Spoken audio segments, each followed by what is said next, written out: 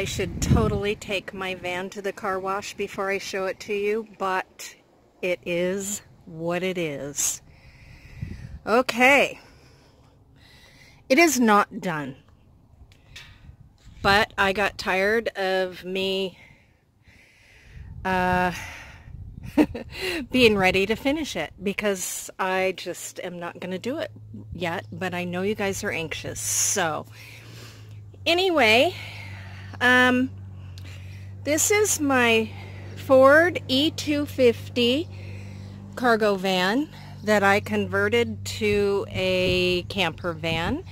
I have 200 watts of solar on the roof plus 100 that isn't hooked up yet. I don't have a battery for that. I am going to get it. It will be on its separate battery and charge controller. I have a uh, what are they called? Fantastic vent fan inside. As you can see, the trim is not complete.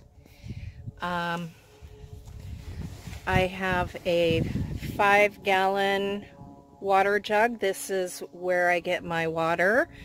And this is where I hold my um, fan, but of course when I use it, I take it out. But it needs to be secured. Um, I have a Dometic, uh,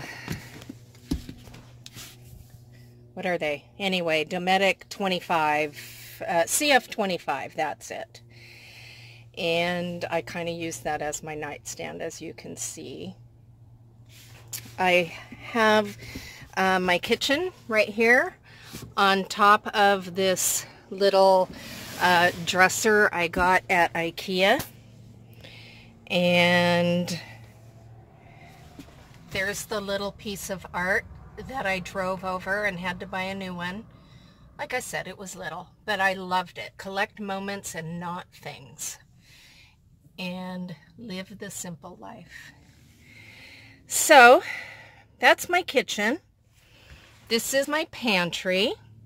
And as you can see, I bought um, baby locks to secure the drawers but I ran out and so I'm still having to use the bungee to keep them shut while I'm driving.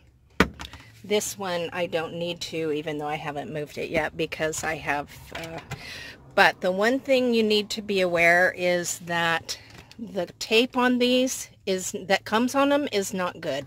You have to get some good um, 3M tape or I got Gorilla Glue tape um, that's just like the 3M tape. It's really um, uh, holds holds well.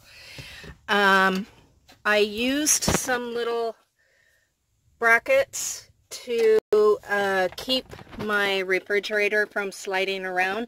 It's not connected to the refrigerator, just the brackets are connected to the floor. And I did the same thing right there. And as you can see, I already spilled my coffee under that. And um, we'll just spray. That's why I didn't want to permanently attach the uh, cabinets because of things like this. I would like to be able to um, move that out to clean underneath it, but oh well, it's good enough for now. And I have two more dressers in back. Um, the one on the right is connected back in the corner over there, and as you can see, it hops around. So I need to get some hardware to con connect it to the wall on this side as well, so it stays uh, straight. This one is not connected to the wall at all yet, so I use a bungee to keep it from toppling over. And I have storage under my bed. Um, I have just this linoleum, and you can see that it's got some ripples there because when I was installing it, I could not lift up the bed to get the uh, floor underneath anymore. It was just too heavy and Mike is going to help me with that, and we just haven't gotten around to it yet. Um, I still haven't uh, had my comforter cut down to a good size so you can see it's all messy and bunched up, but it's sure comfortable to sleep with. Um, I just use this for storage. It's connected to the um, cabinet so it doesn't fall down. My little plant up there is also connected. Um, that's how I watch Netflix.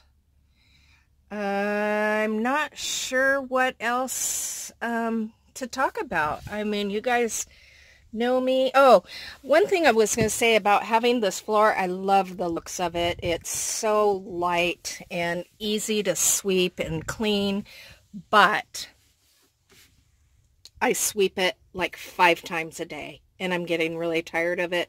So I'm going to get a rug. I don't like the looks of rugs. I don't want to cover up the floor, but it's so much easier to just shake out a little rug. Um, so eventually I am going to get more of the flooring that I put on the floor and the wall behind the kitchen. And I'm going to put it over there and over here. I just haven't gotten around to doing it yet. And I really wanted to do that before I showed you guys the reveal, but that's okay. Um, what else? Oh, home. I don't know if you've seen that or not anyway, this is my little home. I love it. I can sit in here for hours and um, just just um, enjoy the view. Speaking of, there's a guy down there fishing. Last year when I was when I was here, there was a uh, great blue heron right here on um, this little fence right here. I sat there for a few hours and just hung out. So anyway, thanks you guys. Thanks for watching. I hope you enjoy. Leave comments. Be sure to give me a thumbs up. Thanks.